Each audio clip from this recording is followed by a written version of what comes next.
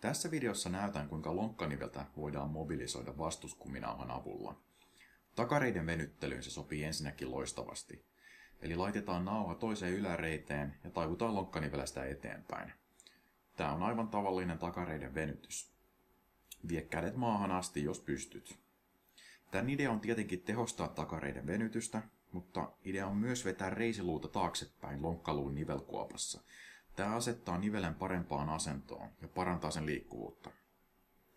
Lähde viemään lantiota puolelta toiselle ja keskity venytyksen tunteeseen takareidessä.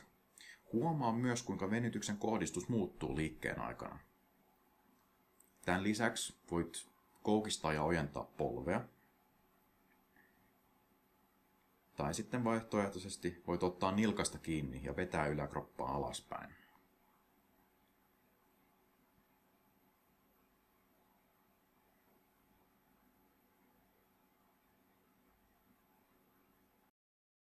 Myös lonkan koukistajan mobilisointiin vastuskuminaha sopii varsin hyvin.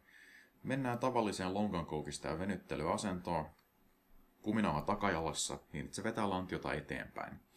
Käsillä voidaan ottaa hieman tukea polvesta tai nauhasta ja aletaan aktiivisesti liikuttelemaan lantiota. Tällä lailla voidaan pumppailla aina syvempään venytykseen tai sitten voidaan viedä lantiota puolelta toiselle.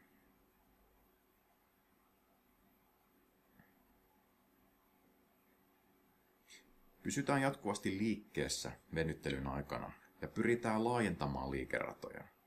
Näin liikkuvuus ja hallinta oikeasti kehittyvät venyttelyssä.